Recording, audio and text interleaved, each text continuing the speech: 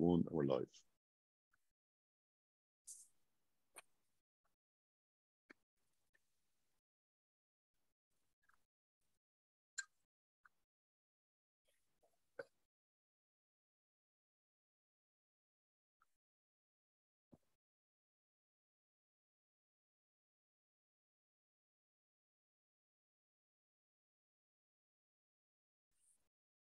Uh, good morning, everyone. I just want to let you know that we're going to wait a few moments to let um, uh, attendees join in.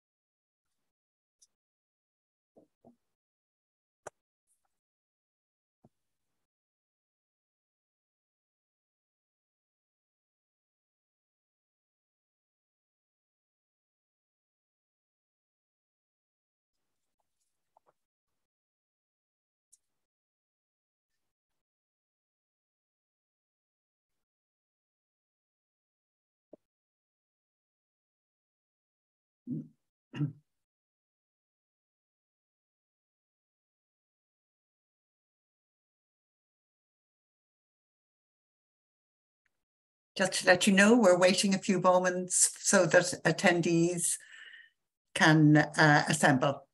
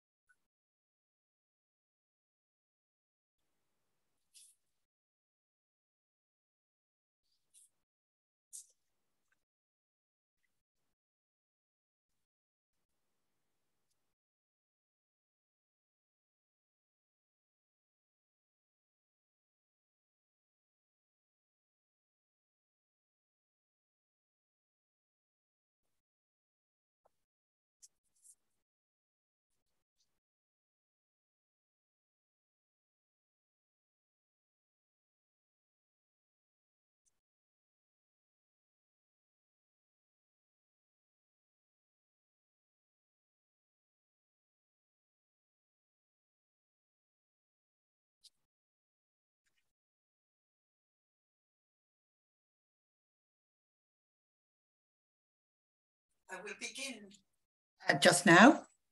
I'd like to say good morning, everybody, and uh, thank you all very much for attending today. Just before we start the, um, the webinar itself, I'd like to say that very unfortunately, we had planned to have live ISL interpretation um, as usual this morning, but due to a sad family bereavement of one of the interpretation team, um, we are not able to provide that today. However, we will very shortly after the event provide ISL interpretation on a recording of the whole proceedings. And um, one of our interpreters, one of the interpreters for today, who is scheduled, Amanda, uh, will explain more in a short video here now.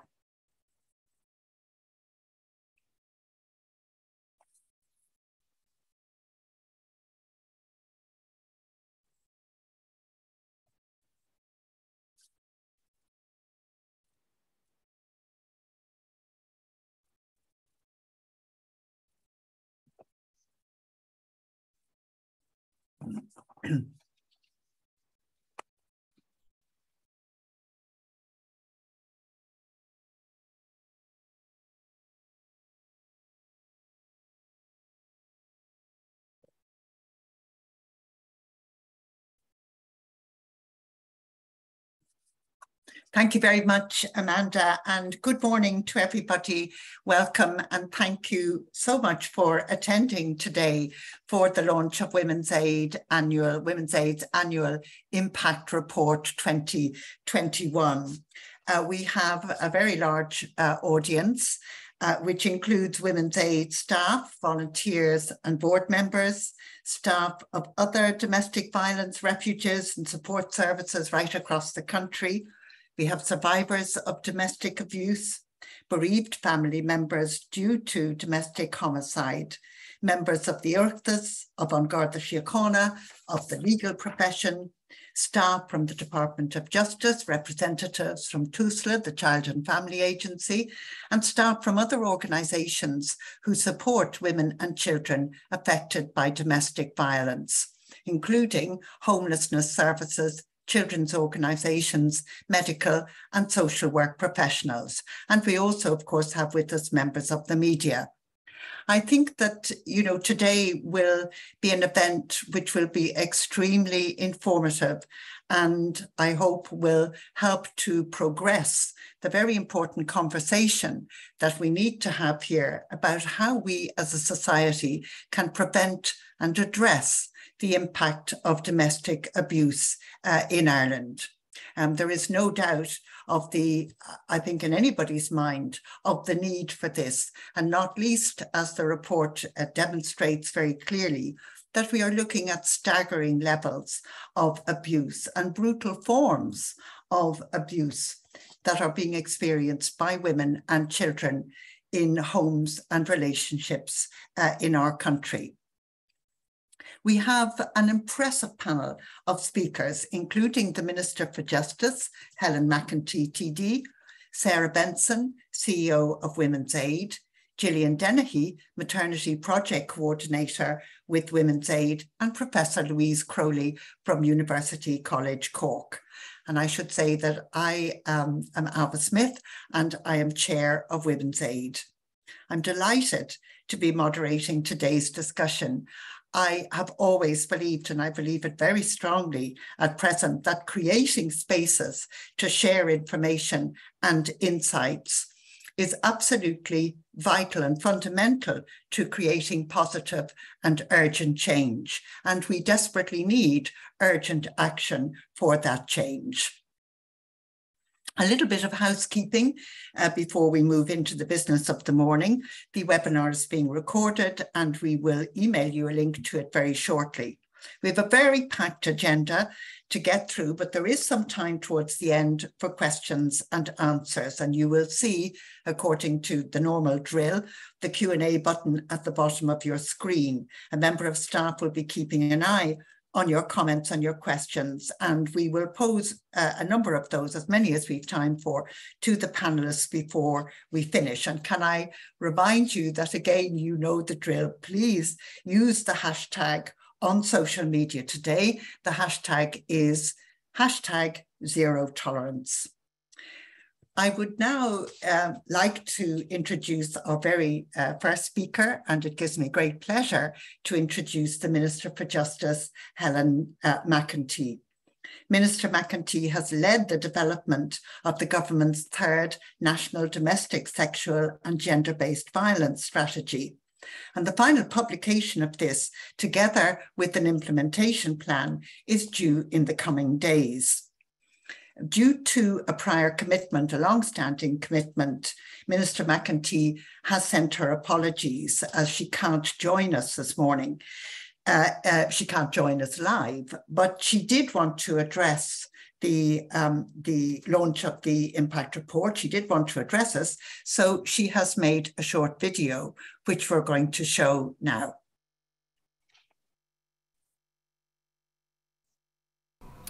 Good morning, ladies and gentlemen. It's an absolute pleasure to join you this morning. I want to thank Sarah Benson and indeed her wider team of staff and volunteers for inviting me to launch the latest Women's Aid Impact Report. I also want to take this opportunity to acknowledge the invaluable work that Women's Aid has been doing for almost five decades now. It is truly an amazing body of work. I know that there are staff from other domestic violence refuges and support services from across the country in attendance, and I want you to be in no doubt as to my appreciation for the important and indeed the selfless work that each and every one of you do.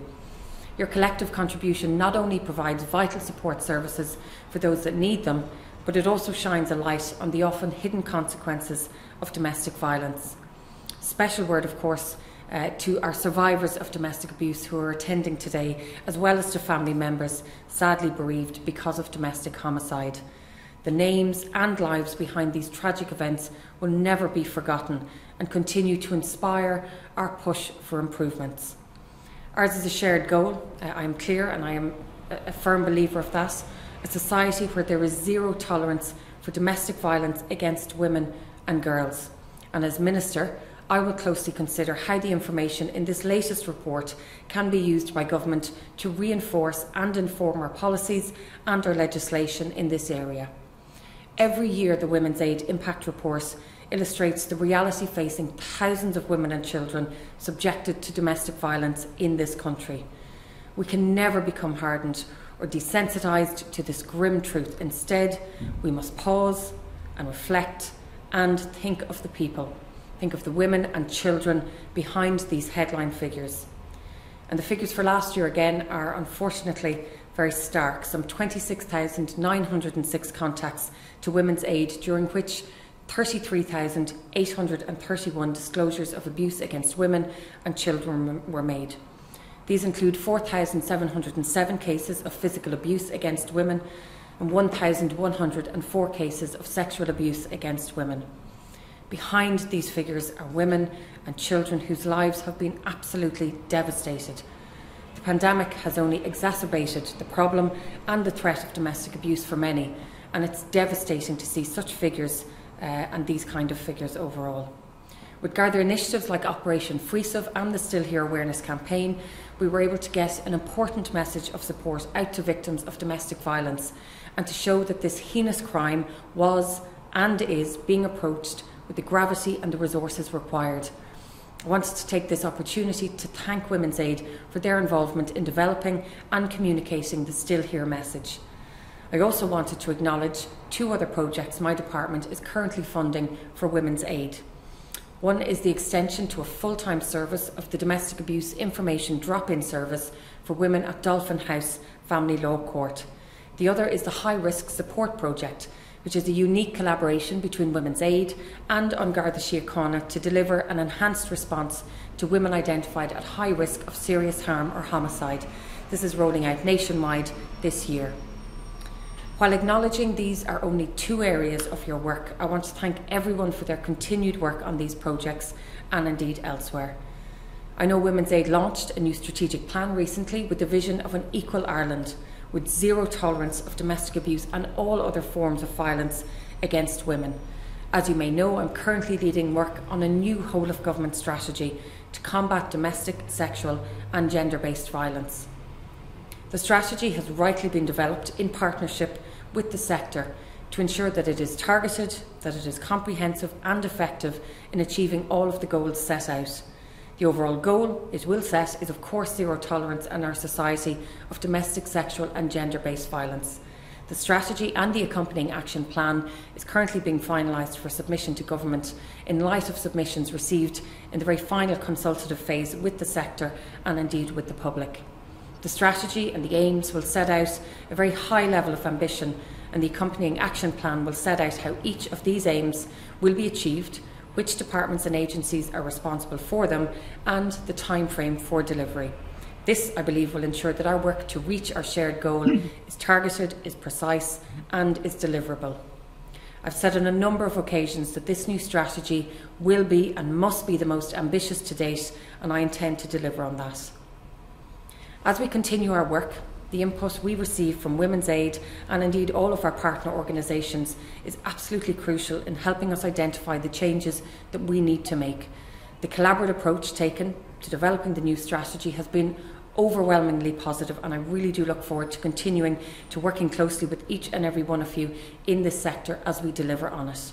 We want to ensure that those who engage with the system that they are treated with respect with dignity and empathy by everyone that they come in contact with from the very outset. And I know that respect, dignity, and empathy are the cornerstone of what Women's Aid does. My sincere thanks to you for this important work.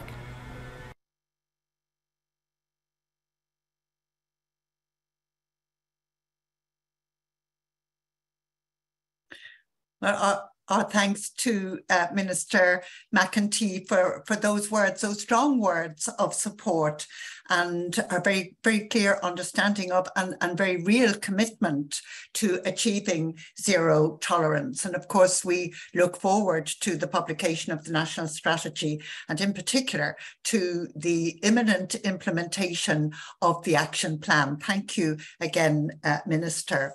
I am now very pleased to introduce uh, our next speaker for today, uh, who really doesn't need uh, an introduction. That is our wonderful CEO, uh, Sarah Benson.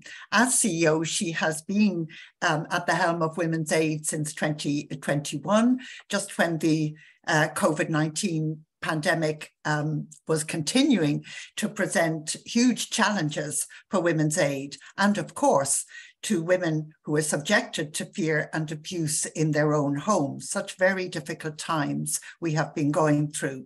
Sarah and her team continue to innovate and to adapt to meet women's needs in these desperately acute circumstances. So uh, Sarah is going to share with us today details of the contacts and the disclosures made to our frontline services last year. And very crucially, she will also outline where Women's Aid believes we need to focus our energies and attention now to combat domestic abuse. Over to you, Sarah.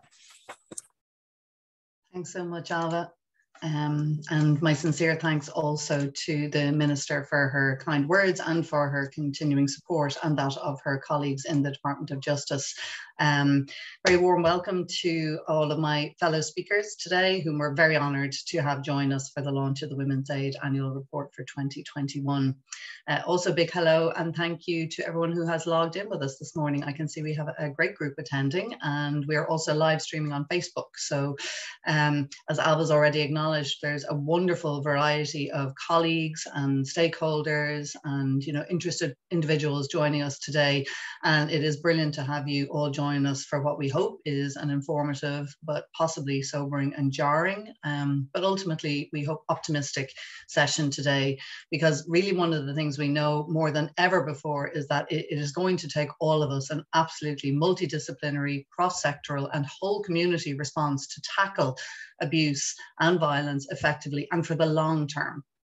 I also want to acknowledge that there will be some in the audience who are directly impacted by this issue, and I would encourage you to reach out to the National Free Phone Helpline anytime, day or night, uh, if we can be support uh, simply as a listening ear or to give you information or indeed connect you to your local domestic violence support service uh, who are all around the country and just uh, acknowledging again that uh, quite a, a number are joining us today. Um, some of you may have had a chance to view the report that we're launching today, uh, or you can download it after the session. It's now live on our website, uh, or you can find the link through our Facebook and social media accounts. And in that, you can read about all the areas of our frontline work, as well as our new projects, our training services, our public campaigns, and our advocacy for social equality, because we work in a multifaceted way to try and get to what Ailbhe has alluded to that, that vision of a society where we have zero tolerance of all forms of male violence against women and girls.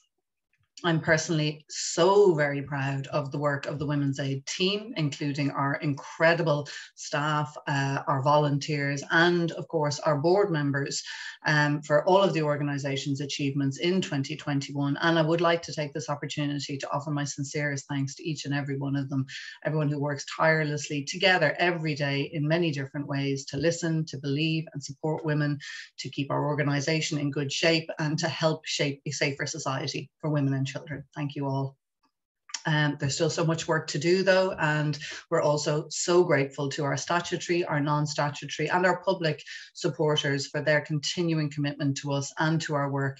We are fully committed to honouring this support and to maintaining and innovating our vital services and collaborating with others to deliver positive impact in the last year, we've initiated a new, uh, a number of new and innovative projects, which uh, we mention in the report, in order to increase that positive impact on women at risk of or subjected to abuse.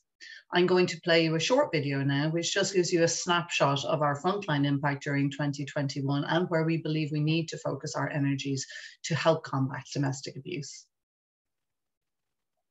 2021 shone a spotlight on the issue of violence against women. Last year, there were 26,906 contacts made with Women's Aid, including 28,096 disclosures of emotional, physical, sexual, and economic abuse against women. We also heard 5,735 disclosures of abuse against children. Behind these figures are women in our communities whose lives have been devastated by abuse. Her husband is coming home and spitting on her, knowing she is terrified of catching COVID 19. She has serious health issues. She disclosed that she has been forced to have sex by her partner when she doesn't want to. He has complete control of her finances. Her ex is threatening to upload intimate photos of her on the internet. She feels like her world is caving in. All too often, women feel failed by the system a woman rang for support after being in court. Her protection application was turned down. She said the judge told her to go home and talk to her husband to sort things out. Today, a woman's ex partner broke into her home and assaulted her. She has called the Gardaí and has been waiting for two hours for them to arrive. She is simply terrified. Every woman has the right to be safe the Istanbul Convention sets out what we need to achieve a society with a zero tolerance to all forms of male violence against women. We need to promote gender equality from a young age, enhanced resources for specialist domestic and sexual violence services, effective laws, policies, and systems informed by survivors of domestic abuse an improved criminal justice system that protects women and children and holds perpetrators meaningfully to account. If we do this, we will ultimately create a more equal and safe society for everyone, men and women alike. Women's Aid will continue working tirelessly to support women subjected to domestic abuse and to work towards a society where no woman has to live in fear. Thanks for being here at all hours to talk with me. I've told my family what's going on now, and it's such a relief. The Gardaí have arrested my ex and have been great. It's hard, but I'm not feeling so alone anymore. Women's Aid. Listening. Believing. Supporting.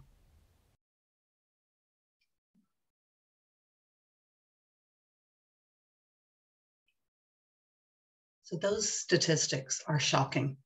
Those are just our statistics in one year. The numbers of women reaching out to Women's Aid for support during a single year is staggering, but they are just the tip of the iceberg of the number of women, children who are suffering at the hands of those closest to them and who need protection and support. One in four women in Ireland are targeted during their lifetime by current or former partners. And as our own research has shown, a shocking one in five will have been abused by the time they are just 25 years old, many for the first time as teenagers in their earliest intimate relationships. It is something we recognise that also impacts on men and LGBT uh, communities, but this is a heavily gendered issue and the equivalent figure for our young people is one in 11 young men compared to that one in five young women. Behind each statistic we talk about are women we know, women in our families, in our circle of friends, in our workplaces, and at the school gates. Women who are trying to protect and keep themselves and their children safe in the face of unrelenting and devastating abuse. National Free Phone Helpline team responded to 21,126 contacts providing an unprecedented 8,863 hours of direct support. So an overall increase in talk time of 8%. Helpline calls were considerably longer on average and women's needs were often more complex. We experienced more calls in the quietest and darkest hours of the night. Women were reaching out for support, understanding, and the space to make sense of what their partners or ex partners were doing to them. There were also 5,780 contacts with our face to face services in the Greater Dublin area. women seeking support through our drop in court information and support service, our one to one advocacy, court accompaniment, and the high risk support project. And all of these services remain in constant demand in 2022. And I think I speak for all of the domestic violence services in saying that the demand for our services goes unabated contacts to all our services in 2021 revealed such deep levels of distress and fear and isolation exacerbated by the COVID 19 emergency. Women told us about broad and brutal patterns of behaviour that they were subjected to by those who were supposed to care for and love them. Domestic abuse and coercive control is just that. It is a pattern of multiple tactics that erode the victims, survivors' emotional, physical, sexual, and economic safety and well being.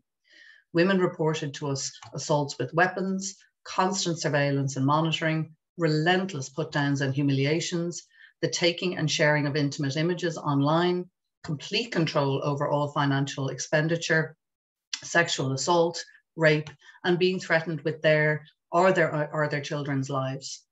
The impacts on these women are chilling, and they range from exhaustion, isolation, and hopelessness to feeling brutalized and wounded, suffering miscarriages, a feeling of a loss of identity and suicide ideation, constant hypervigilance, post traumatic stress disorder, poverty, and for some homelessness.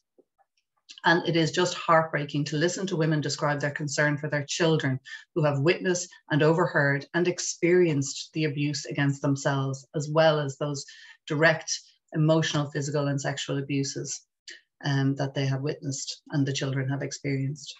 In 2021, there were 5,735 disclosures of abuse of children made to Women's Aid, including children being beaten with weapons, sexual abuse, coercive control, constant and degrading verbal abuse, being hurt when the abuser was trying to attack their mother, and abuse during neglect or, or neglect during custody and access visits.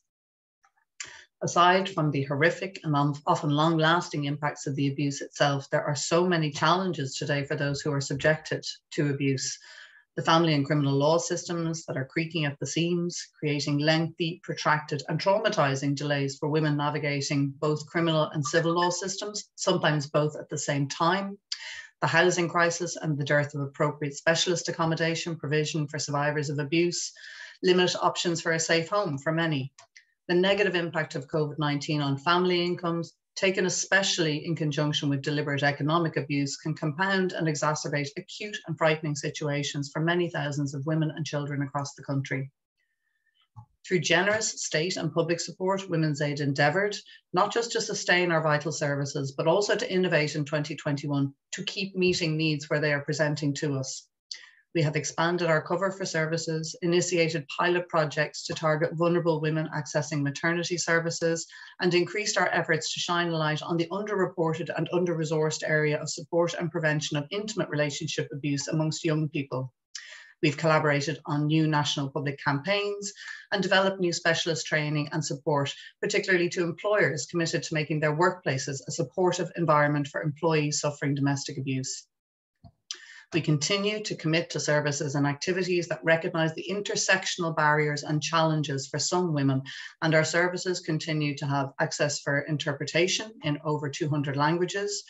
We are currently rolling out awareness videos in nine languages, including Irish Sign Language, and representing English speaking women from a range of ages and ethnic backgrounds.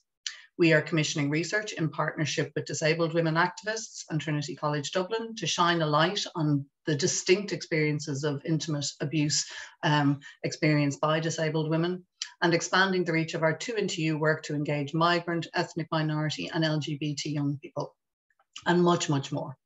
Like I said, so much work to do.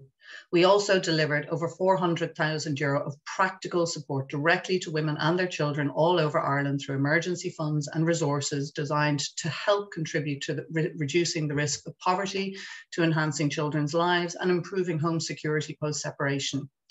Uh, among other needs that help us to redress the impact of abuse and help women to maintain their dignity.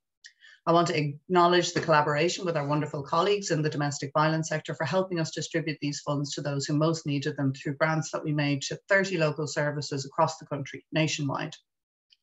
In 2022, we are investing further in research and collaborative projects to broaden our impact towards ending domestic, sexual, and all forms of gender based violence, as well as remaining a vital lifeline for those in need of help. As the Minister has noted, the Government has now also completed a vital new third national domestic, sexual, and gender based violence strategy with the final publication due in the coming days in conjunction with an implementation action plan. This plan, for the first time, seeks to address the four address the four key components that will help us to truly eradicate male violence against women: prevention, protection, prosecution, and coordinated policy. There is good practice and there are positive experiences that women report as they navigate many systems, but all too often these are not consistent, are under pressure and under resourced, as the testimony from our video indicates. There's already work underway to formalise strategies to improve the family law system, to improve survivors' experience of the criminal system, to introduce stalking and strangulation legislation, and to enact legislation for a statutory paid domestic violence leave for workers. This is all excellent progress, but it is still all in planning or just in process. It will require focus, coordination, and crucially, investment from government to see the ambitions of this important plan realised. Today, there's an increased recognition in Irish society that domestic abuse and all forms of male violence against women are not women's issues, but an issue for men. Recent and terrible events have again highlighted the persistent issues with misogyny and structural gender inequality, which are both a cause and a consequence of male violence against women. This comes into stark focus every time a woman loses her life through male violence. As the organisation maintaining the Femicide Watch for Ireland, Women's Aid recorded the names of a further seven women who died in violent circumstances during 2021. Already in 2022, we have recorded the names of five more women whose families are left reeling from their needless loss. While we need to consider ways to prevent and target public safety for all, it remains the case that the most dangerous place for women statistically is their own home and the nightmare of violence and abuse most commonly will be at the hands of a current or former intimate male partner. The public conversation must continue to focus on how women, men, and all people can collaborate to create positive and lasting positive change that will benefit everyone in Irish society. We're moving beyond COVID 19, but we are entering a new phase of global instability and potential economic crisis. Today, the message that Women's Aid are putting out there is that these things must neither distract nor dissuade us from taking the urgent action required. Instead, it's even more vital that we grasp the opportunities that we have to effect a real and lasting change to achieve equality for all and aim end male violence against women. And that's something that we need to work towards together. Thank you so much.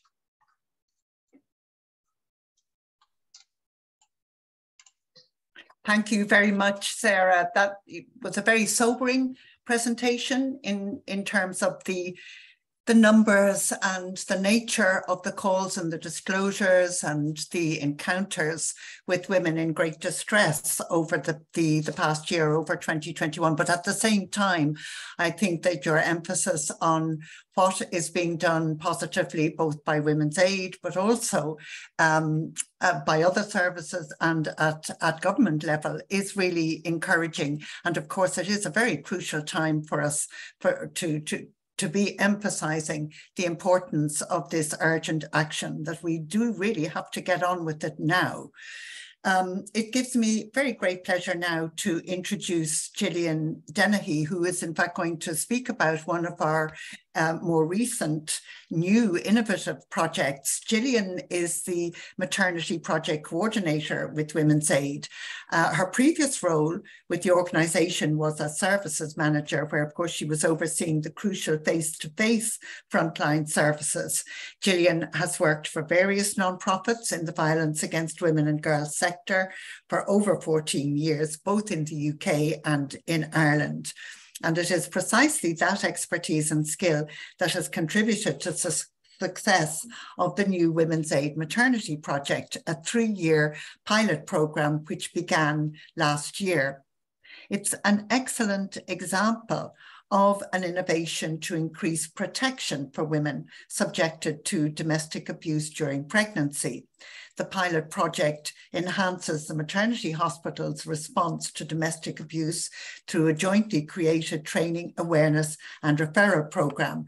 And I am now delighted to ask Gillian to share your insights, Gillian, into the first year of the maternity project. Thanks very much, Ailbhe, uh, for that great introduction. Um, oh, sorry. I am there. One second there now. I just have to share my screen. For some reason. Apologies. Oh, okay. Share.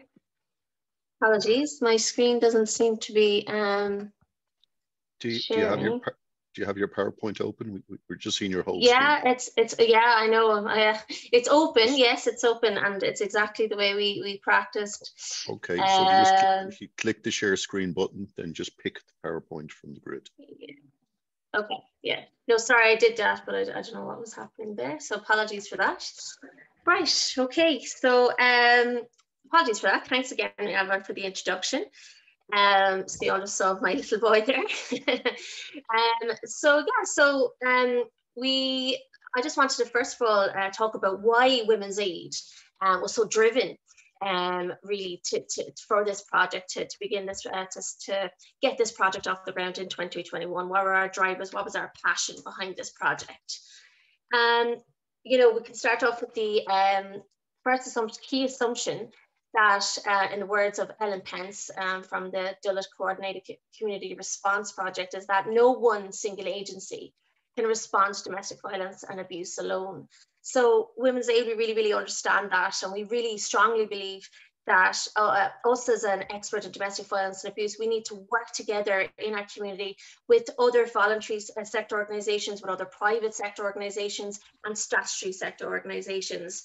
And we do this really, really well um, with the high risk support project. We also now with our, our new employer engagement project, was going really well. And now as well with our maternity project, where we are working, collaborating um, with uh, very strongly with the health sector. Um, and together we can be a real force in the community to respond to domestic violence and abuse. And the next key um, hypothesis for this project is that domestic violence and abuse is a public health issue. We believe that very strongly in Women's Aid. We know that domestic violence and abuse does not stop during pregnancy. Um, we, in our 2021 um, statistics, 152 women disclosed to our helpline that they experienced domestic abuse during pregnancy. And 41 women uh, disclosed that they had actually experienced miscarriage because of that abuse. So pregnancy and postpartum are periods of high risk for women experiencing domestic abuse and it has serious health impacts on the woman and the unborn child. As I said, miscarriage, it can also lead to premature labour and birth, low birth weight for gestational age, delays in accessing care, depression, anxiety. We at Women's Aid know this because of research, but also because of what women tell us, what they disclose to us. And it was something that really, really concerned us um, and we wanted to do something about it. In addition, pregnancy is a unique window of opportunity.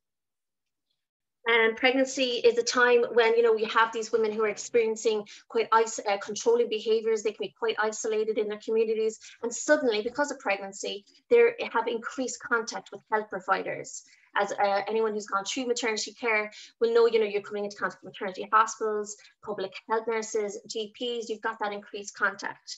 And in fact, Siobhan O'Brien Green's research from 2020 um, tells us that actually women who experience domestic violence and abuse have actually more contact um, with um, health providers during pregnancy than women who aren't experiencing domestic violence abuse during pregnancy. And that is because of those harmful um, impacts I just um, outlined there for you that they may experience during pregnancy. Um, so, and also it is a time, pregnancy can be, can be a time when people are generally, you know, kind of exploring their options, you know, reevaluating their lives. Um, and this is, well, maybe as well, they start looking at reevaluating the relationship um, when they think about the, the child um, that is going to be coming into their lives. In addition, um, health professionals, you know, what we've really seen from this project um, and research tells us that health professionals really do see it as their role to ask and respond to domestic violence abuse. Through this project, we've seen the commitment and passion of the maternity hospitals and, and the clinical staff that we have collaborated and worked with. Um, however, they tell us Um, and research tells us as well that they really need the training and education around asking and responding because they want to they want to be able to respond, ask and respond in an effective way, in a safer way, and create that safe environment for women and children. So therefore, that's why all these things had led us to go, yes, there is that need. There is this need for the Women's Aid Maternity Project, and we wanted to provide, plug in that gap, like we do with so many of our projects. So I'm just going to talk now through some of the key components of the um, of the project. So one of the key components is that collaboration element. It is that we, you know, we couldn't do this without our four key hospital partners, the Coombe Women and Infants University Hospital, the Rotunda Hospital, the National Maternity Hospital, affectionately known as Holles Street, and Ireland South, South Women and Infants Directorate, um, um, primarily Cork University Maternity Hospital. These are key, key partners um, and they're very big, have shown just commitment and passion for this project from the start. In addition, um, we have an external advisory group which meets for the project, which meets um, around twice a year, but also have a lot of bilateral communication with the, the, the members representative on that advisory group. And that includes key partners such as the HSE social inclusion team, uh, the Women's Health Task Force from the Department of Health, TUSLA, the Office of National Midwifery Services Directorate, NWIP, the National Women's Infant and Health Programme. We then also have, you know, very key, strong um, voluntary um, partners such as Cairde, uh, which work with uh, the migrant community community around health advocacy. We also have AIMS, which is a great, you know, advocacy uh, group for patients um, going through um, maternity care. And of course, we have Pavee Point, um, which represents um, the Roma and um, Roma and traveller communities. So we're really, really delighted to have such a, a extensive expertise on our external advisory group for this project as well, and really enriches the project.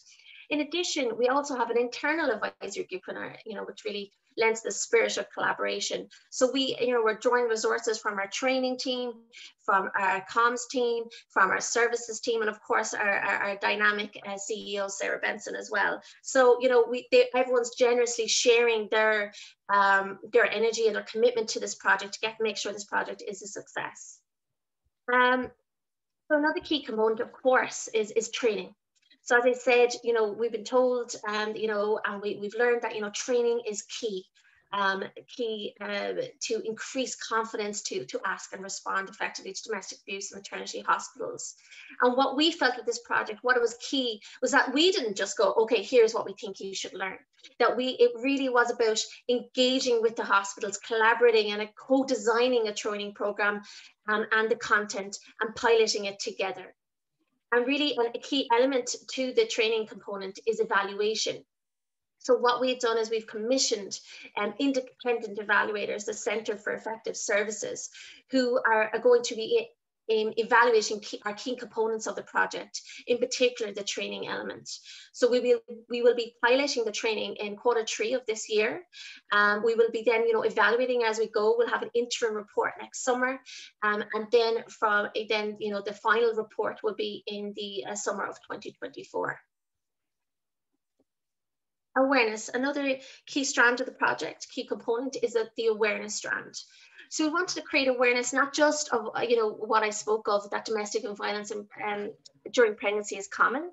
Um, indeed, more common than preeclampsia and gestational diabetes. Wanted to create that awareness, not just to, to staff, but also to patients um, who are accessing the, to the general public but also of the pathways of support internally that are there. So the four leading hospitals project have a great, you know, expertise in their medical social work team who are there to respond respond to, to women experiencing domestic abuse but also, of course, the key external specialist services in the communities um, that are there as well. And of course, our National Domestic Violence Helpline that is there 24 hours a day for both professionals and all women experiencing domestic violence and abuse. Then the fourth, fourth key component is referral. So we, we have a, a brilliant dynamic um, specialist outreach um, service, support service worker, and Kira Kenny, um, who is a named worker for the maternity hospitals. What is unique about this project is that she, the eligibility for this service is that the woman has to be um, accessing maternity care um, with uh, one of the three Dublin hospitals. Um, and so what Kira is doing as well is, is like building knowledge and expertise as well, because she's working with a very specific group of women who are accessing maternity care, working with women who are pregnant, who are you know, going through uh, postpartum, experience pregnancy loss, um, are accessing abortion services, all these different women that, you know, Kira has been supporting uh, through the project. A key aspect of this specialist outreach service, what we wanted um, to, to make ensure was that there was accessibility for women accessing the service. And what we know from research um, is that survivors who access support from a health-based domestic abuse support worker had experienced abuse for an average of six fewer months than survivors engaged with a local community-based service. So therefore, what we mean by this is that those, you know, if we have um, specialist support services that are really doing that outreach work, reaching out to health services in the community, women will not waste time, you know, looking uh, for, for that um, specialist support. They will get that support quicker and access it quicker. And Siobhan O'Brien Green's research in 2020 also, um, uh, you know, supports this, um, this, this premise as well. So what is the impact um, of this project? From June 2021 to now. So in terms of this training strand, as I say, the spirit of this project is collaboration, is engagement. So I've, I have held seven facilitated sessions with the four key um, maternity hospitals. And I have been delighted that we have had such commitment and passion um, from um, these hospitals. We've had multidisciplinary engagement with 43 clinical staff, ranging from obstetricians um, to midwives, um, to physiotherapists and of course medical social workers. So we've had I've had all this great input and I've put to them, well, what is you know the key, what does a successful training program look like for you? What is the content that you want to see? What do you think people need to learn? How best do you think you need to learn that? So these were really, really successful facilitation sessions um, that, that we've held that have allowed me then to design a training program that has actually been signed off now by the four hospitals. I'm now currently working on the content for this training program.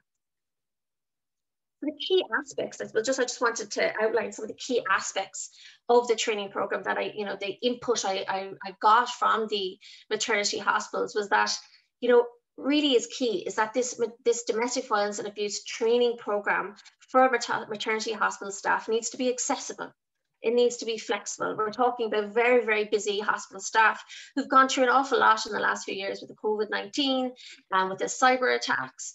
And they need this to be accessible, flexible. They need to be able to make this work as part of their busy working um, working lives. Um, and also they need protected time. It needs to come from above to say domestic violence and abuse matters. This is what it is, it's common. So we need to give it priority. And we are giving you time to do this. It needs to be a phase program, as I said, you know, three hour blocks of time, a half a day is not going to work for busy maternity staff. It needs to be one hour accessible blocks of time. And in addition, it needs to be multidisciplinary. So what the, the hospital clinical staff said, they want, you know, they want social workers in the room, they want obstetricians in the room, they want midwives in the room, they want the physiotherapists in the room, they want everyone in the room together learning from each other. Um, and so therefore that will also create this collaborative approach um, and also will create that kind of understanding that we are a hospital that are together responding to domestic violence and abuse. Also blended learning that will allow that flexibility. So for example, digital learning and online learning uh, via platforms like Zoom, but also face-to-face -face was something that came up strongly that, that hospital staff, no, we want face-to-face, -face, we want that um, learning experience. That's where the real skill sessions and learning works and it needs to be motivating. It needs to be different from other um, training out there to, uh, so that staff are motivated to do this and want to learn and see the benefit of this. So we're, you know, we're really excited that we will be piloting this training um, this year, in the later uh, quarter, the, the last quarter of this year. And then we will be, as I said, evaluating it. Um, and there will be an interim report and then a final report in 2024. So watch this space. We're really excited to share all the, um, the outcomes from this training program. The other key strand, as I mentioned, is an awareness. And in, in 2021, for the 16 days, we launched a really successful awareness um, campaign. And this again um, highlighted the, the spirit of the project, of that collaborative approach. Um, and we had many focus groups with each of the four hospital, um, maternity hospitals and some regional hospitals as well. And we, you know, wanted to keep it simple messages um, and wanted to target at women, staff, and the general public. So this is, for an example, a poster um, which was up on the toilets, um, which should be up on the toilets still of maternity hospital on the back doors of the toilets where women can see it. Um, and it has, you know, the 10 common signs of domestic abuse with a pregnancy um, focus and emphasis so women can, can relate to it about their experience. This was a pull-up that was at the door during the 16 of the four hospitals during the 16 days. Um, and this is um, really, again, you know, the simple messages of that 16 days campaign, which was that, the, that domestic violence abuse in pregnancy is more common than you think and the hospital staff are there to support you provide you know and also what was key about this awareness campaign as well was that united front.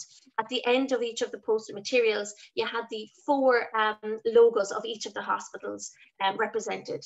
Um, so that was really really great to, to, see that you know we're together we're here to support you um, maternity hospitals understand and our environment of safety to disclose um, we also did a, six, uh, a, tailored 16 facts for 16 days on uh, domestic abuse and pregnancy. Um, and this was directed at women and staff, you know, highlighting the key issues um, um of it and, and the health impacts as well that are there. Um, and then as well, we there was a lot on social media during the 16 days from the four hospitals. Again, we you know we had tweets um, that each of the four hospitals sent out at the same time. And one of the, I just example of one of these tweets is working in partnership to listen, believe, and support women experiencing domestic abuse. It was just really, really great to see that collaborative par partnership approach and uh, that we're all, you know, singing from the same hymn sheet and women can see that. And we see here is an example of University Hospital Cork. You can see the materials in action there. I think we, you know, we are all agree that they, they, they look great. For the outreach service, as I said, we have a dynamic outreach worker, um, Kira Kenny. Um, she is from 21st of May, she started taking referrals. Um, to, uh, we have some statistics here from 21st of May to December 2021, and more statistics, of course, on our impact report. What was interesting is that majority of the women who access our um, the outreach service had mental health needs, and we know that you know women who experience domestic abuse will are more likely to experience depression and of course um, you know then with pregnancy you have that added layer as well and concerns about postpartum and postnatal um, depression as well as uh, as well so that can exacerbate things with, for women um, women disclose physical abuse during pregnancy, sexual abuse, and 90% disclose emotional abuse. So when we think about emotional abuse here, we're talking about, you know, um, undermining women, controlling behaviors. And so here you could might see, you know, delays in accessing maternity care, etc. And Kira, you know, did sterling work during this time. She had 151 support sessions with women. So that's one-to-one support with women and listening to them, believing them, validating them, and asking them, what support do you think, you know, would you, what are your options? You know, here are some options, um, empowering women to, to look at their options. Um, and sometimes that could be just listening to the woman. Um, sometimes women wanted, you know, to, to get saved, to, to leave the relationship. Um, and so she did, you know, 14 court accompaniments during that time, and that would be um, obtaining safety orders, barring orders, um, to, to, to ask the abuser, to, the court asking the abuser to leave the home. Um, it could be looking at her finance, supporting her finances. It could be advocacy to the guards about breaches of orders. Um, it could also be, you know, advocating for housing for, in terms of temporary accommodation and accessing refuges. Really, really sterling work uh, with this vulnerable group of women one woman story, let's, let's call this woman Amy, she was experiencing severe coercive control, um, which included, you know, you know, keys being taken off her, um, you know, really, really severe control um, by the abuser. She was referred into our project by the medical social work team. And Kira had great successful support and engagement with this woman. Um, she supported this woman to obtain a one-year barring order, which said that the abuser could not uh, no longer come to their home. Women's Aid provided her with support from our security fund, which meant then she could change the locks, which meant that if he came to the house, he couldn't use the key he had taken off her. In addition to that, um, we were able to, you know, she, Amy still had a, you know, baby that was was pending, that was coming, and she a lot. On top of all this court, um, attending court, she also had to think about, okay, what do I need for, for my baby? And you know, she was struggling to, to, to get things she needed. So we were able to provide her uh, with from our emergency needs fund. And in addition to that, because she was um, deemed high risk from this abuser, um, our, our, unique um, high risk support project are able to support Amy um, with a high enhanced response from the Gardaí. So it really just shows you that wraparound support that a woman can, can, can uh, um, obtain from accessing support from our maternity outreach service. I just want to conclude on this quote. You know, this is what it's all about. Um, honestly, I feel like such a weight has been lifted off me, and I can finally focus on the important things now. It's all such a relief, and finally, I can put it all behind me. Thank you so much for everything you've done. So that's a, a woman communicating to Kira, um, you know, and it just it just epitomizes what this project is about. It's about, you know, women and children being safer. It's about creating an environment of safety within hospitals so that women can disclose, they can obtain the support they need.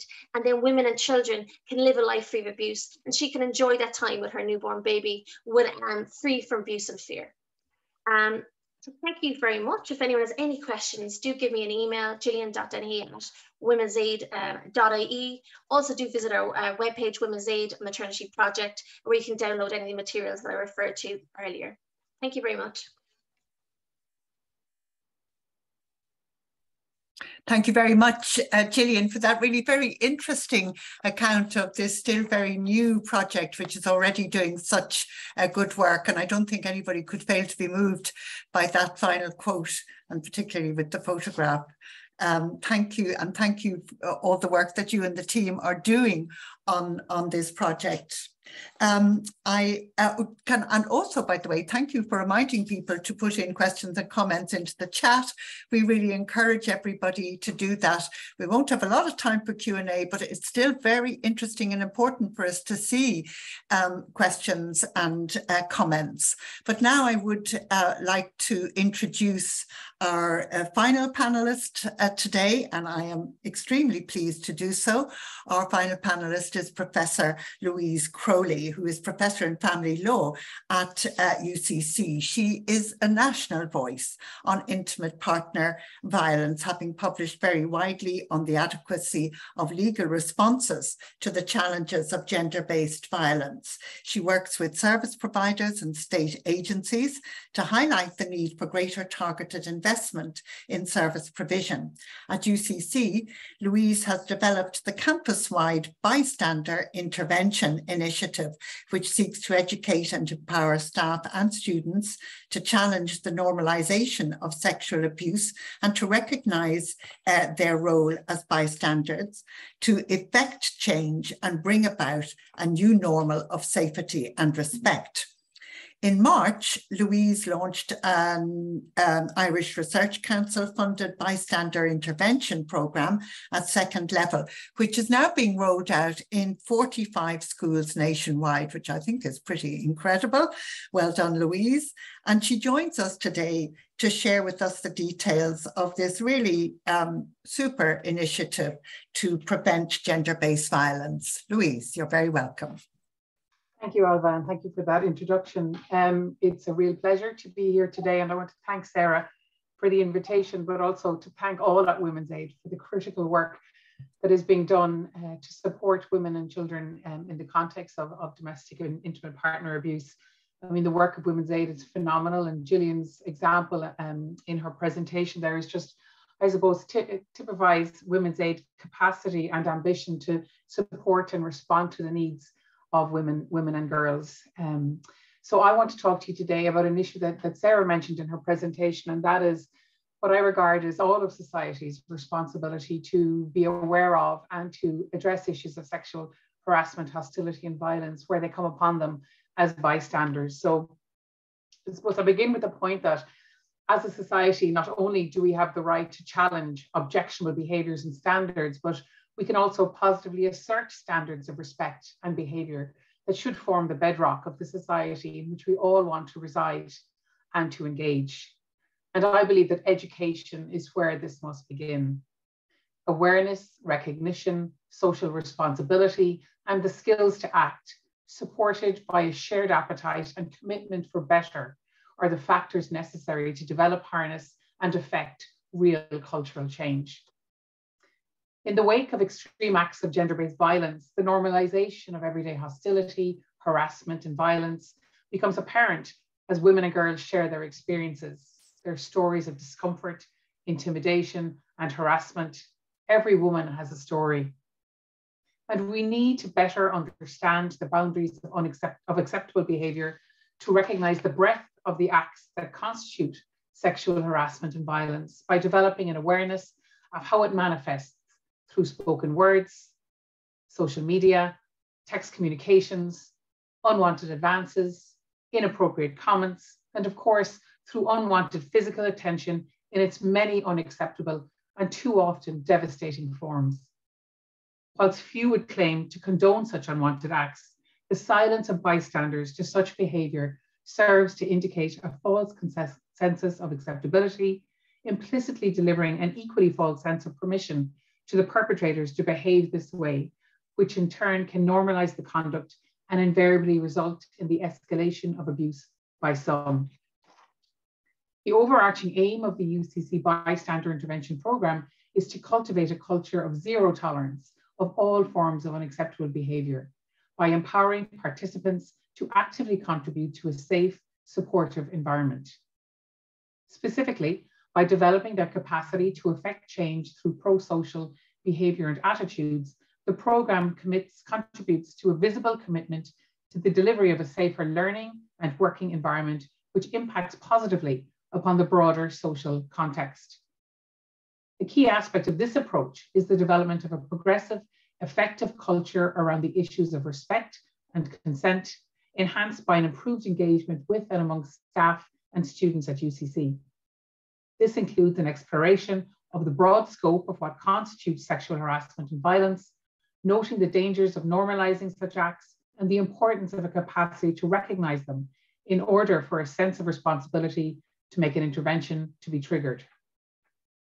And so to explain the UCC Bystander Intervention Programme, which was developed from the UK Intervention Initiative created by Fenton and Mott and funded by Public Health England, is delivered over four online and one in-person workshop.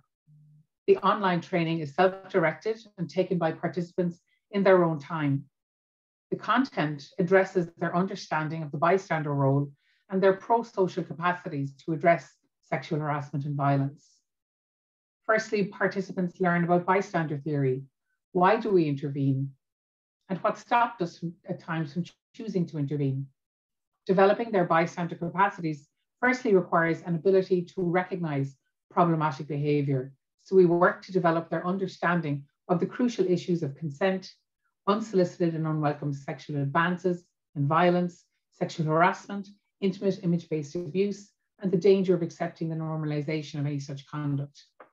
Thus, the first four workshops educate, upskill, and empower participants to actively mandate and affect cultural change amongst their peers in an environment which has exposed their collective rejection of such behaviour, which up until now was not often comfortably asserted. It exposes the incredible impact that an effective intervention can have, which might seem small to them in the moment, but may make an incredible difference to the person who benefits from that intervention.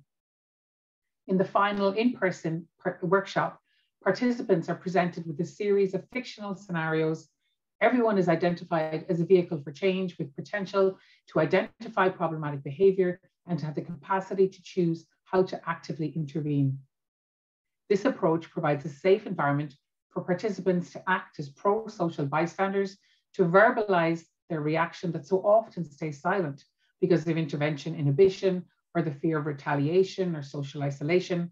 And it allows them to better understand the significance and impact of a safe and timely intervention. So Tom, if you would share my presentation now, I'm going to demonstrate some of the impact data from this program. So the next slide shares with you um, um, and the next six slides, in fact, will demonstrate the significant and meaningful enhancement of the participants' understanding of three key issues, what constitutes sexual harassment and violence, their realization of their role in challenging such behaviors on campus, and also their recognition of their capacity to make safe and effective interventions, having completed the training. So the first two slides um, address the question of the participants' perception of their ability to do something about sexual harassment and violence at their institution. So in, in, at UCC. So in respect of participants in the year 2021, you'll see that before the workshop, 54% of people felt that they could make a difference and 44% felt they had a limited ability to make a difference. And so that's very positive and that they, they did sense they could do something about it. But following the completion of the training, 82% now believe that they could definitely make a difference, rising from 54 and 17 believe they had a limited capacity So that's a very significant improvement in terms of their ability, their sense that they can make a difference through their training and the use of their training. So the next slide is the same issue. We're dealing with the 21, 22 data, Tom. So similar figures, we see the big jump from 59 to 77% in terms of those who believe they can make a difference, with 22 also believing they can make a difference, albeit with limited capacity. The next slide, again, addresses the second question, which asks whether they believe they have a good understanding of what constitutes sexual harassment and, this, and violence. And this is really critical because too often behavior has become normalized in society and we can never make an intervention if we don't in the first place recognize the behavior is problematic. So we work very hard at bringing participants back to what I regard as Respect 101, getting them to understand the range of forms of unacceptable behavior, the many ways in which sexual harassment, hostility, and violence can manifest. And so before the workshop, 69% were of the view that they did have a good understanding, but this shifted to 96% following completion of the training, that ability to recognize it in all its forms. And the remaining 3% did again have an understanding, albeit limited. So we believe that the training really does allow people to recognize all forms of sexual harassment and violence and to realize the range. And again, the next slide provides similar data in respect of participants up until the end of April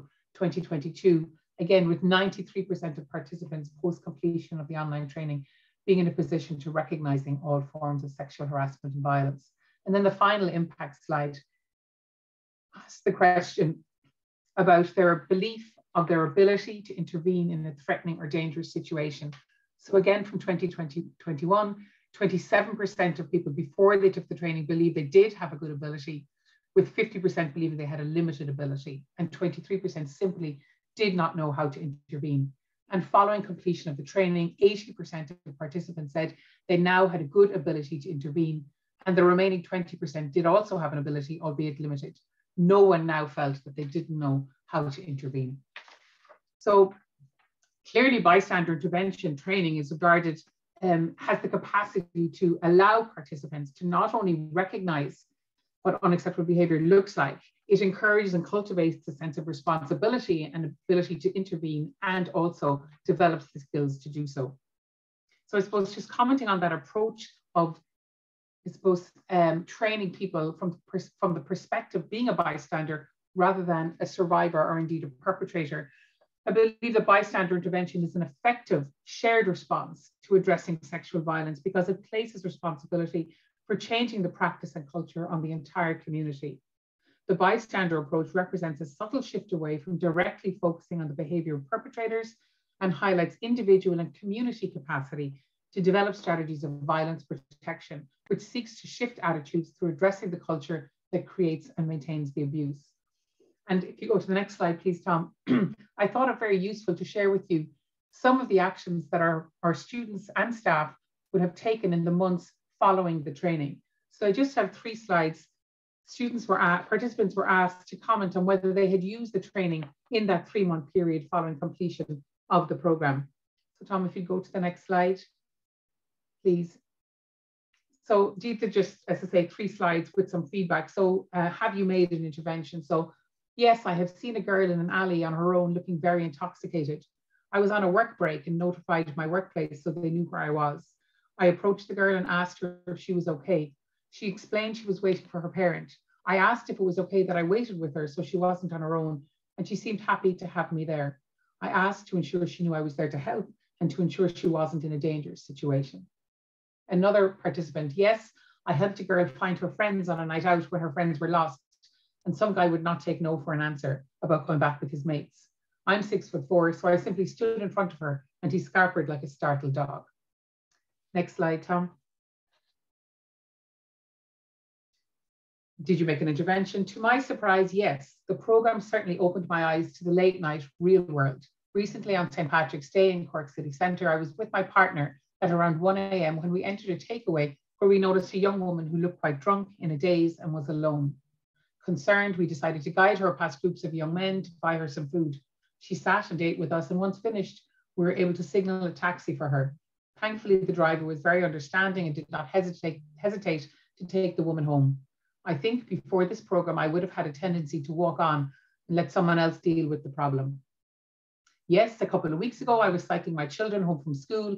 Near Kent train, Kent train station, there was a couple in their late 20s walking along very intoxicated. The man was being very aggressive to the woman. I didn't jump in as I was taking care of my children, so the most appropriate action was to call the Gardaí when I got home a few minutes later. I described, described the couple and the situation, and they sent a car out. And so the final slide of feedback from our participants, although it wasn't a direct intervention, my friends and I walked a stranger home after a night out as she was alone. I felt this was a very responsible preventative measure. I've been more frank with my discomfort at a couple of my friends making sexist jokes. It's gone down well and they've copped on a bit. I recently had an opportunity to intervene in the way a friend of mine was talking about pronouns.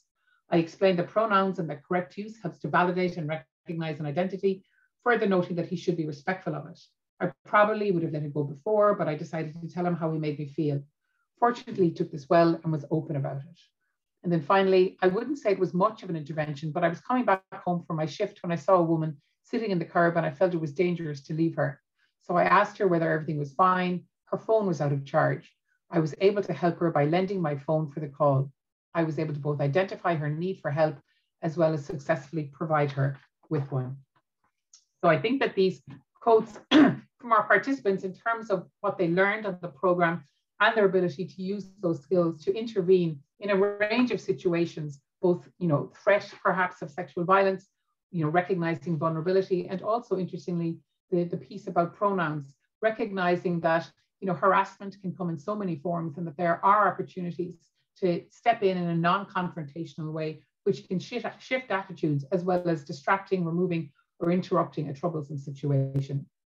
So rather than directly addressing either perpetrators or victims, framing all participants in the training as bystanders allows for a collective buy-in as to the shared capacity to recognize unacceptable or dangerous behavior and affect change.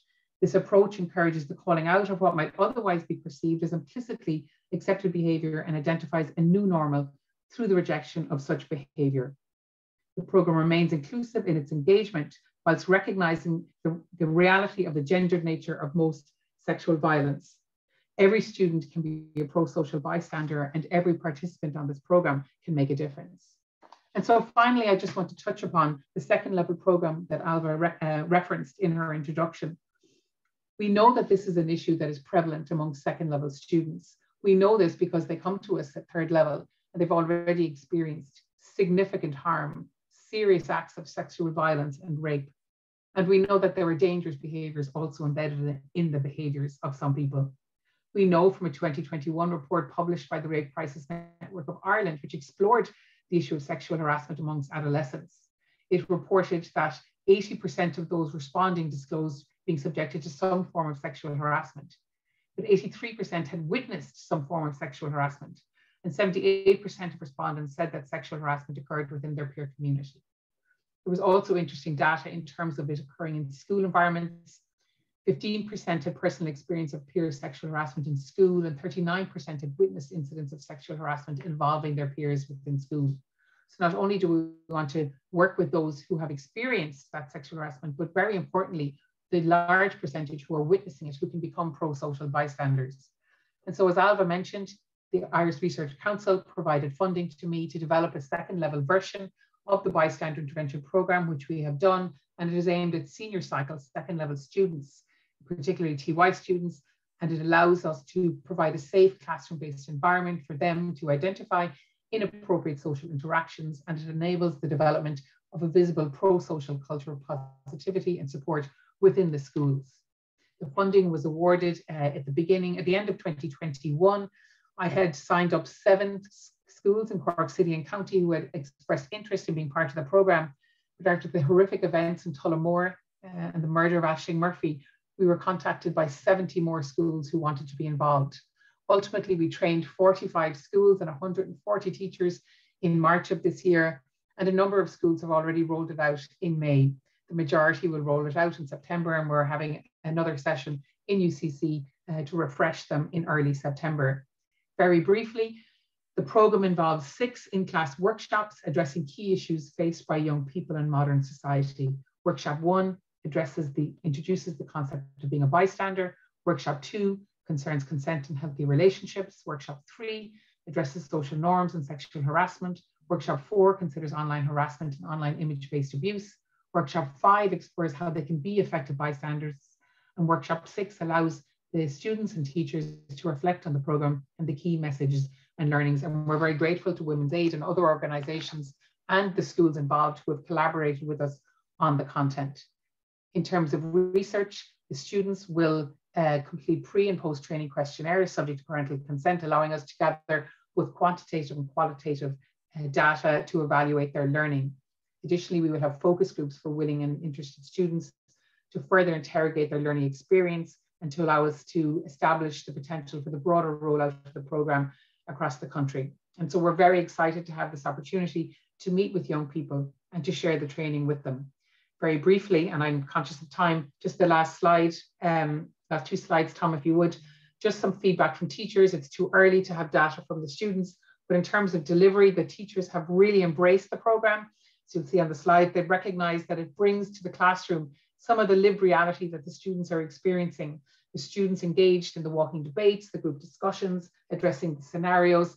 Um, there has been a request for, you know, a version for every year in secondary school, which, you know, we might get to eventually, but particularly image-based sexual abuse for first years, which is very interesting. This is clearly a very challenging issue for all years in secondary school, but first, first years in particular, as the teacher commented, they're so vulnerable because they are working so hard to establish friendships and they need to understand how to cope with it.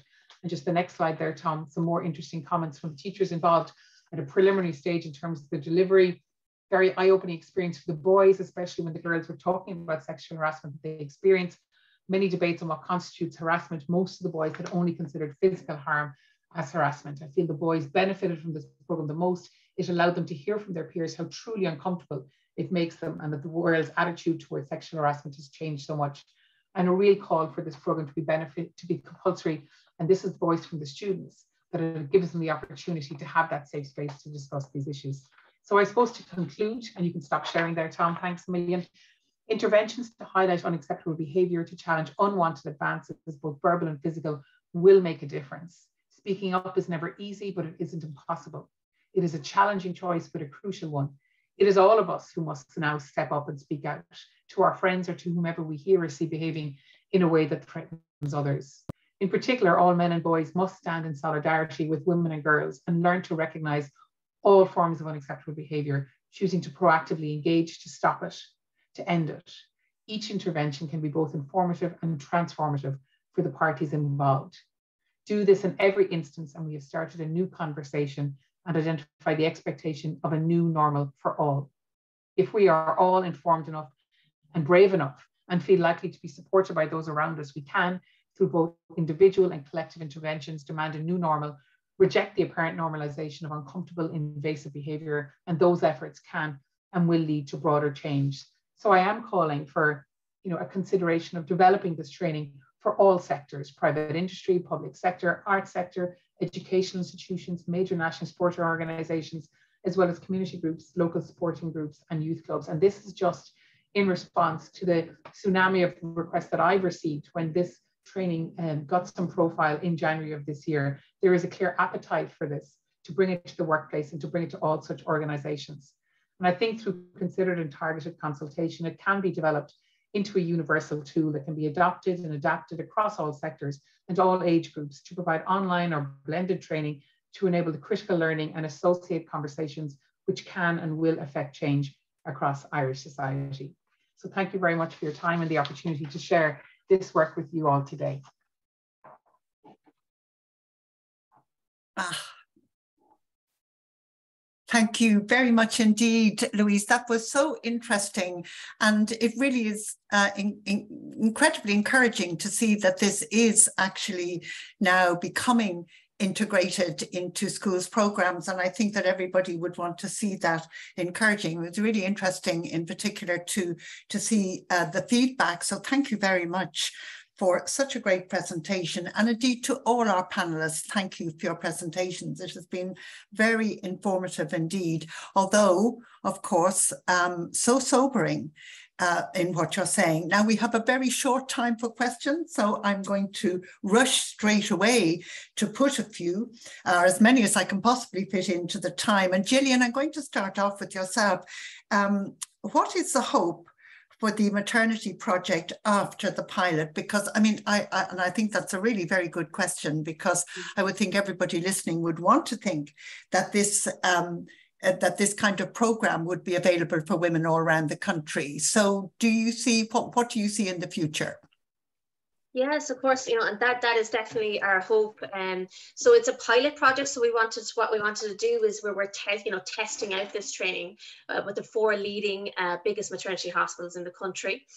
Um, and we, uh, as I said, we have uh, independent evaluators on board, so we're evaluating uh, the training component the whole way along and other components of the project, such as the outreach support um, and the awareness campaign um, the awareness strand of the project. Then we will have a final report then in 2024, and we are then hoping that will generate huge interest um, in the project, um, in you know funding, in, in funders for long-term funding to say yes, let's you know this just training program works this this project overall works. So having this outreach, specialist outreach connected to the maternity hospitals, this is something we need nationally. And then hopefully then, you know, we get the funding to roll this out, uh, mainstream it, to roll it out nationally to all 19 maternity hospitals. And, you know, Women's Aid, we've a lot, always have a lot of ambition. And our ambition, you know, we know that it's not just maternity hospitals that women um, access during maternity care, but also public health nurses, also GPs. You know, this is something we want to, you know, to go broader within the, the health sector. Um, but we have to start somewhere. We want to get the, the you know, optimal um, training program that works, have the collaborative um, and get that, you know, get those recommendations and then move from there with those recommendations and hopefully the funding and interest to, to back that. Well, thank you very much. I mean, it's obviously yeah. very important. I mean, it, it does seem to me that this is a theme, it's one of the themes this morning that, of course, integrating those training and awareness programs in different directions is absolutely fundamental to achieving um, the aims and the vision uh, that we have. Uh, Sarah, can I go to you with the question now, which is a very straightforward question and one I have to say I would have tended to be asking myself. Um, are there any plans for reaching out specifically for older women experiencing domestic abuse? Sure. I mean, look, I think it's really, really important to say that we work with women and women contact us of all ages. Unfortunately, some of the older women who have uh, contacted and received support from us have um, been experiencing, been subjected to abuse for simply decades. And it can be an incredibly courageous and challenging thing for an older woman, um, perhaps, you know, at, a certain point of her life uh, to, to reach out and get support.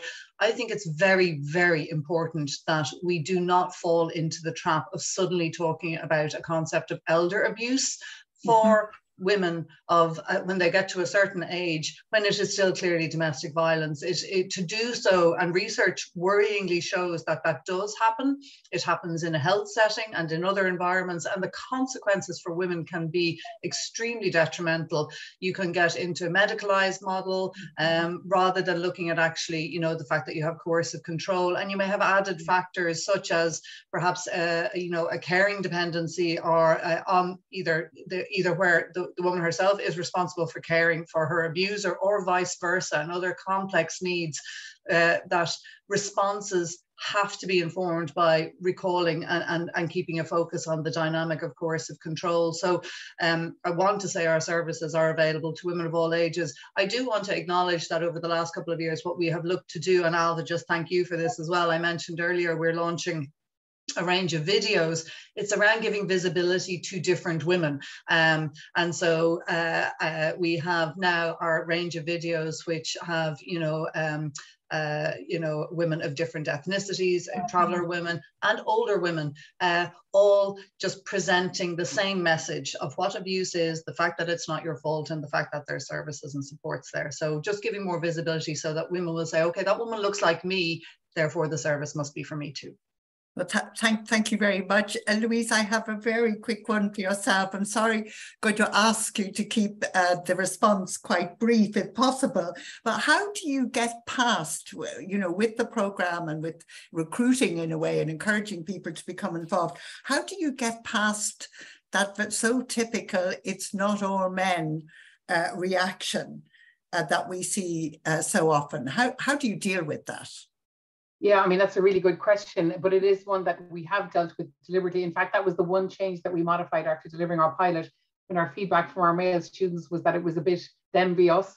So we have very much incorporated the recognition that it is, first of all, that it's not all men, to say that out loud before anybody else gets a chance to say it, recognizing yeah. actually that um, whilst it's not all men, that it is all men who have a responsibility. And we talk to male students through the online as well as the in-person piece about the power that men have to change, to shift attitudes within their own peer groups. And something that's really interesting is I did a podcast for Second Captain shortly after Ashling Murphy's murder.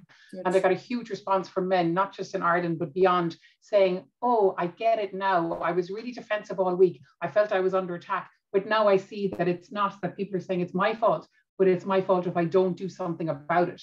And that's very much the narrative that we bring, that we're speaking to everybody as bystanders and appealing to their inner hero and their capacity to be the difference. And it's, it's incredible when the men who take the course realize the impact on their peers and then also recognize that they can do something about it. They become allies incredibly quickly. And I've seen it happen in front of my eyes and it's very powerful, but that narrative is really important. Th thank you. That's so so interesting and so important, actually. Sarah, do you want to comment? Maybe do you want to come in on that one? Yeah, I think just building on that, uh, one of the things like Women's Aid, we're nearly 50 years in operation, but like, like most, if not all grassroots organizations, you know, we've struggled always to meet the demands of, you know, those frontline services and others. But we are looking as part of our new strategic plan to, to try and engage and collaborate more with others around that kind of prevention, the, um, the bystander approach, working in collaboration. And one of the key things we realize, you know, if we need to accelerate this work, we really, really need to get men on board as well as engaging boys themselves just in terms of so they can see their own authenticity and, and how diverse it can be and not part of a narrow stereotype of masculinity. So what i what one of the things that we are doing i'll just put in a quick pitch for it is we have um, jackson katz who is one of the architects of the kind of bystander approach uh, very extensive experience engaging particularly men in the nonviolent um, Mentors Initiative.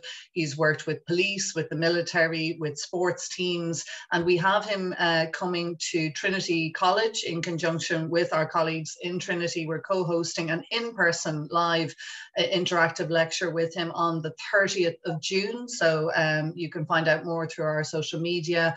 What I would say is please share it with men who you know. I know some members of our colleagues on our Garda Síochána are here as well. Like, you know, I think it's a real particular interest to those who are already engaging in the kind of domestic violence, uh, domestic abuse coordinators and things like that, uh, even our military as well. So um, please do share that out. I think it's going to be a really, really important event, um, you know, to, to kind of help build that awareness of how we can all, um, you know, be part of that.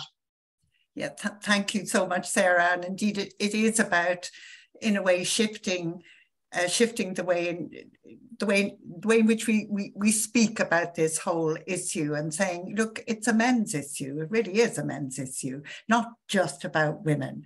And I think that this is a time when men are aware and increasingly aware that this is the time for them to be brave and courageous and to and ambitious and to stand up there and to to speak out. And uh, thank you louise and thank you to everybody in women's aid and in all the many other organizations for all the wonderful work that you're doing in that regard and in so many others. So i wish we'd more time for questions. Unfortunately we don't. So uh, i would like to first of all thank the minister and all our wonderful speakers this morning. Um, I mean, we, what we have heard has been, I think, uh, you know, very difficult. It, it has been a very tough year. We know this is a very, very tough issue. It's not going away, um, but we have to make it go away. Hearing those very stark numbers of increasingly complex or what sound like increasingly complex situations that women are facing, we know that there is an enormous amount of work to be done. We have heard a lot of that, what is going on currently being outlined.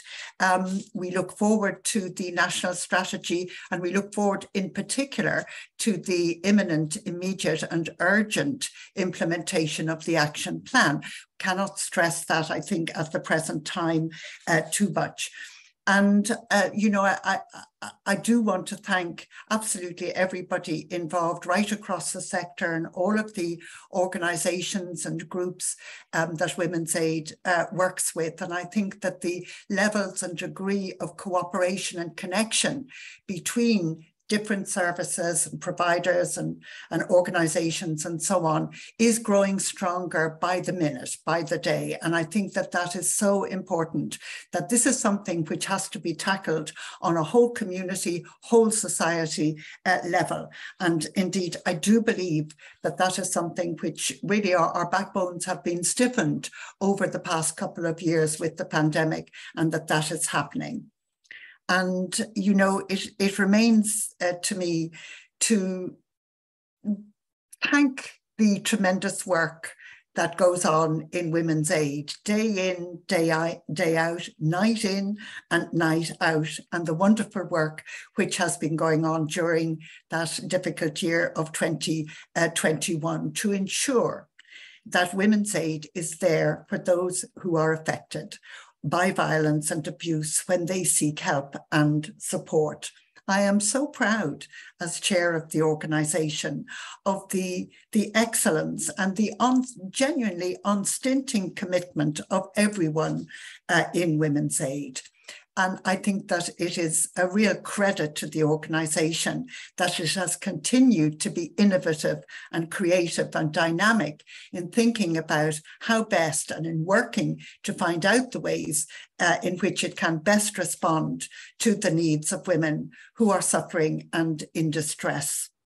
And always, always at the heart of the work that Women's Aid um, does is that sense that it is women who are at the center of that work. So I want to say a very big and special thank you to our really wonderful CEO, to our incredible staff, and to all the magnificent uh, volunteers as well as to our dedicated board members. I can tell you we are actually a very hardworking board.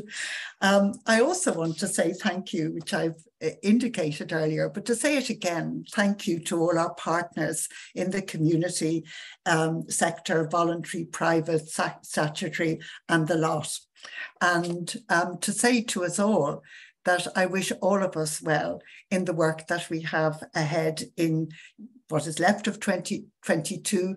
I don't necessarily think we're looking at the easiest times uh, going ahead, but we are working together. We know what needs to be done. We are very determined and very passionate and very, very skilled. So I think that we will make progress. I would like to thank all of you for attending uh, this morning and to wish everybody uh, to keep well and keep working. Thank you all very much indeed.